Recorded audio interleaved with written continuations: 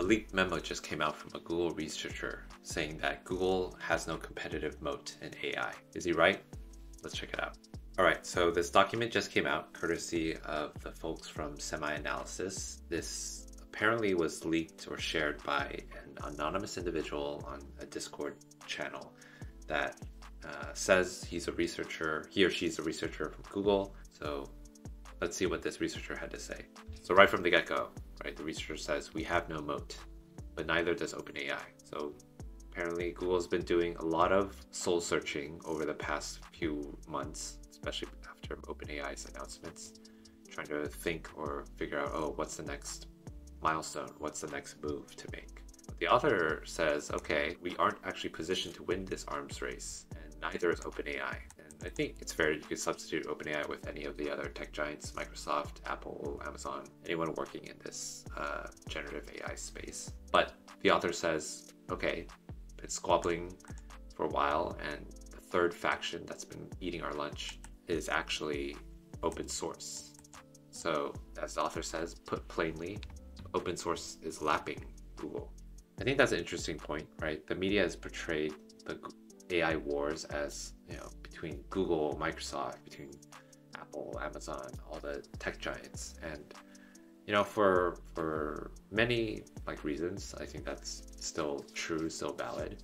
Right? These companies are the ones that have all the GPUs, all the servers, all the data, and certainly all the researchers and, and scientists to be able to, to build these models. But I think what's been especially true in the last year or so has been really just this rise or proliferation of open source models and the, the strength of the open source community to really move fast, uh, to iterate, to to release things, even if they may have questionable permission or, or licensing. But yeah, so it's it's definitely an interesting thing. And this third force, uh, if you will, uh, is one to be reckoned with, I would say. All right, so let's go back. So the researcher calls out uh, several of the major open problems that uh, Google, you know, once thought were things that still had to be solved. Were already, you know, there are already solutions. There are solutions in open source, and people have uh, access to them today. So some of them include large language models on a phone. Several people are able to run models on even a Pixel 6, 5 tokens per second see people actually create personalized AI on a laptop that's built in an evening. Uh, and even several art models you know, are fully released with no restrictions whatsoever. And even some of the state-of-the-art models in the science Q&A uh, area, uh, that was built apparently in open source and trained in just an hour. So the researcher recognizes that even though Google may still have a slight edge terms of the quality of the models, that gap um, is closing quite quickly. So open source models are faster, more customizable, more private, and in researchers' words, pound for pound more capable. And doing so with uh, much less money, right? Whereas Google might be building a model uh, with a $10 million budget with many more parameters open source is able to recreate it with just $100 and 13 billion parameters. So, and the iteration cycle, right? It's weeks, not months. So, what does that mean, right? What, what, what sort of implications does that have? Well, the research, researcher says uh, we have no secret sauce. Our best hope is to learn from and collaborate with what others are doing outside of Google which are prioritized through third-party integrations. People will not pay for a restricted model when free, unrestricted alternatives are comparable in quality. We should consider where our value add really is.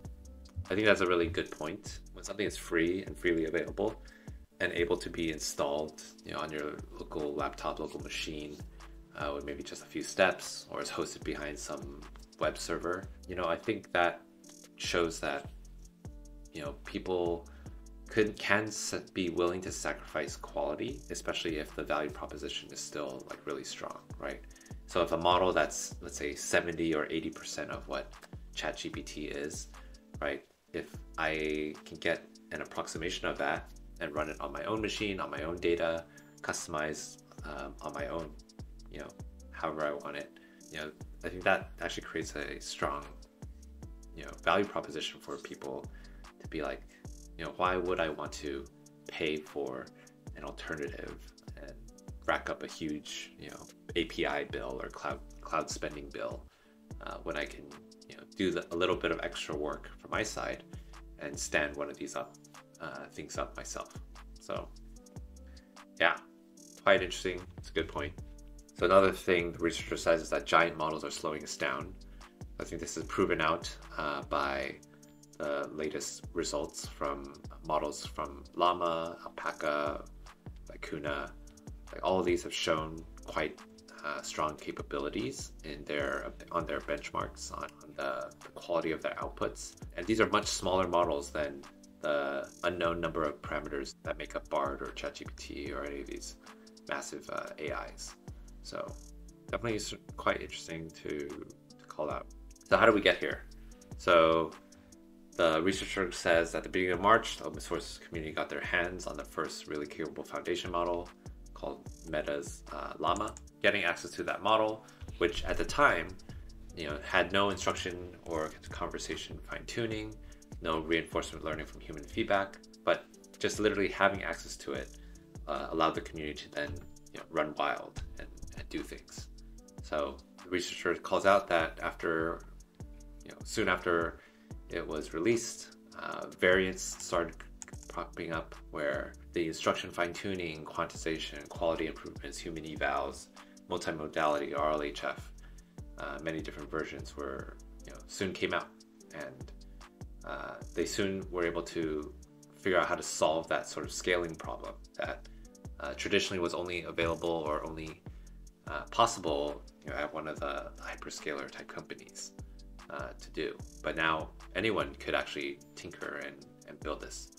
So, and these ideas were from ordinary people, right? You didn't need a PhD, you didn't need necessarily super strong expertise in machine learning to be able to participate and iterate.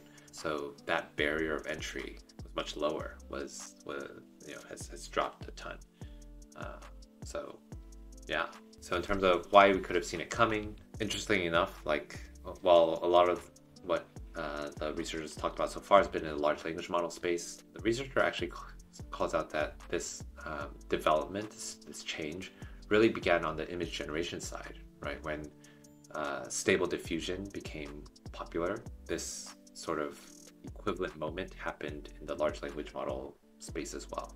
That sort of environment was uh, about uh, having a cheaper mechanism for fine tuning, specifically called low rank adaptation or LoRA, combining that with breakthroughs in scale and yeah, having a high quality model, having access to a high quality model allows people to to iterate and to to just think at the level of abstraction of ideas as opposed to sort of the messiness of, of infrastructure or, or or data or math, you know, those sort of things.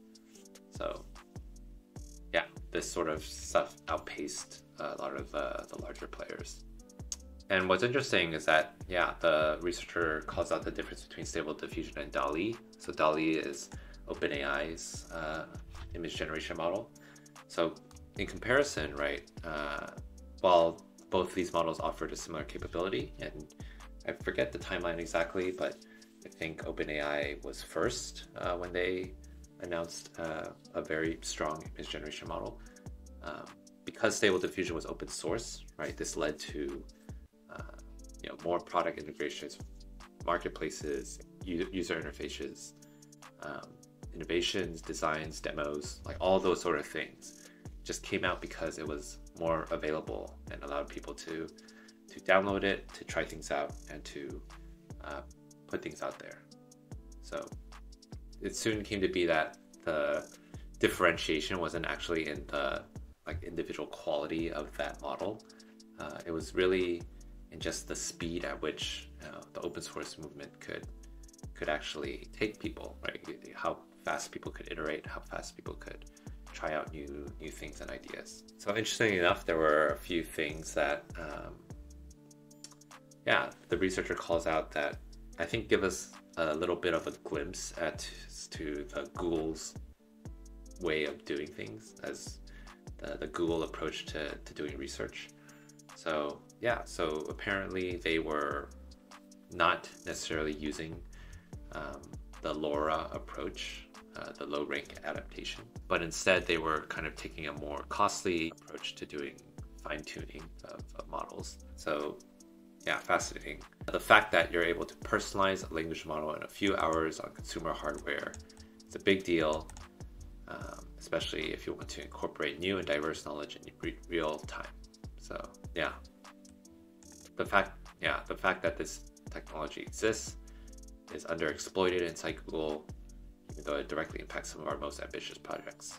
So I think it calls out right there that maybe Google, uh, because they weren't uh, starved for resources, they did not sort of adapt or take into consideration, you know, the ability to just quickly iterate or make some sort of engineering uh, breakthroughs to, yeah, to sort of get results faster with less capable hardware.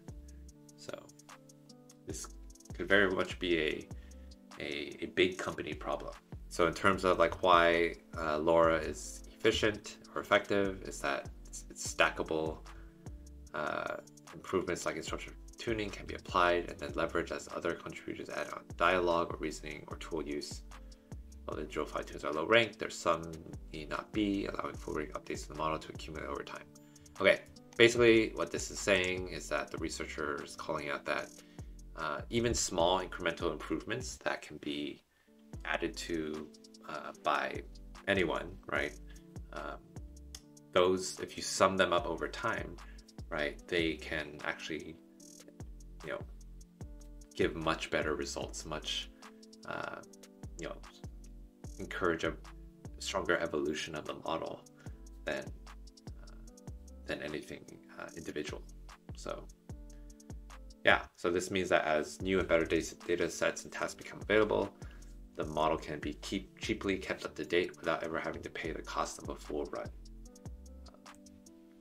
So this detail is really about, yeah, training a model from scratch, super expensive, but if you can update them in a quick, iterative way uh, and not have to do the full run training, for sure you'll be saving a lot of uh, a lot of money.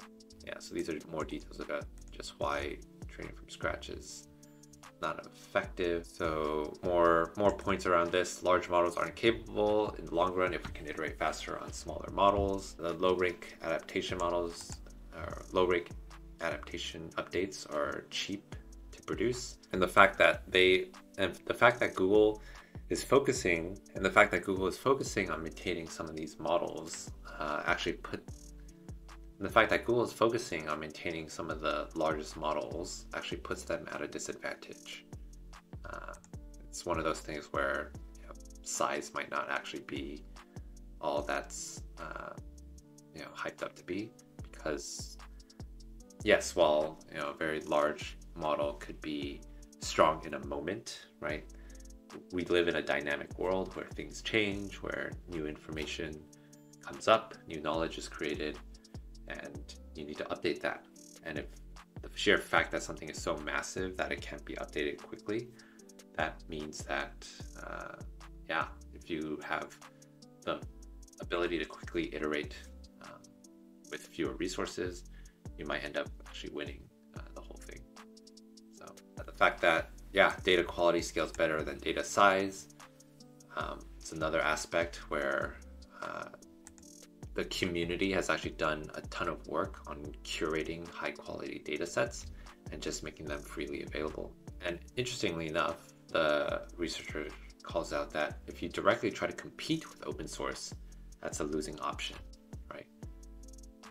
And centralizes on the question of who would pay for a Google project product that has usage restrictions if there's a free, high quality alternative without them.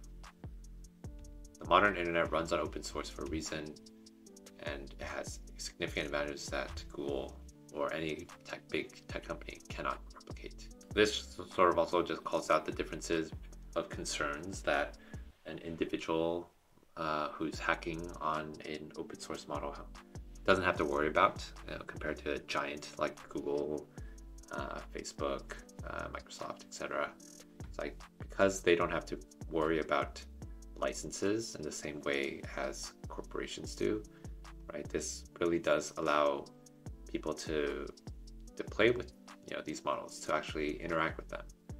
Um, one of the things that is true is that uh, at least in my experiences with major companies is that the if a model is not doesn't have a friendly license, if an open source model or open source code doesn't have a friendly license, uh, that might just get passed on or passed over. Even no matter how good, no matter how uh, strong that project is um, or that model is, right? If it's not friendly for commercial use, then fortunately there's no path uh, to actually interact with or use that.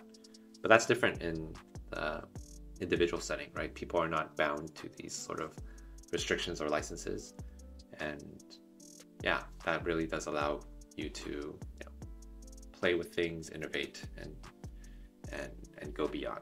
So one also important thing to call out is that uh, the open source community are very vocal, very passionate, very uh, strong experts actually in, in in niches that a large tech company has no way or has no business in in, in staying you know as as deeply involved in.